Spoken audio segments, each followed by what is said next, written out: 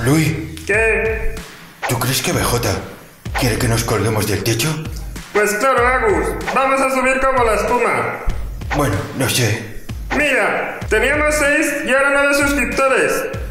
Pero si le das la vuelta al 6, es como un 9. Agus, si te pones así, no vamos a llegar ni al millón. Bueno, tienes razón, tenemos que aguantar. Luis, ¿Qué?